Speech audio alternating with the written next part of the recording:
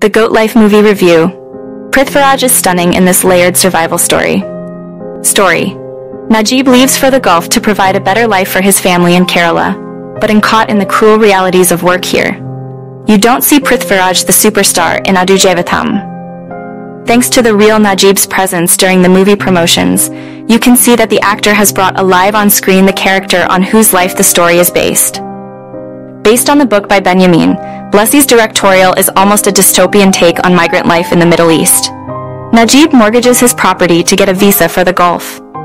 In the layered story, we see Najib leave behind a verdant Kerala in the hope of providing better opportunities for his family. What to say about Prithviraj, except that he lives the character and is superb as Najib, who is completely lost and at wit's end in this unfamiliar region. A.R. Rahman's soulful music is already a hit on social media, but for a realistically told story of a man's resilience and for Prithviraj's acting, Aadujeevitham is bound to move audiences.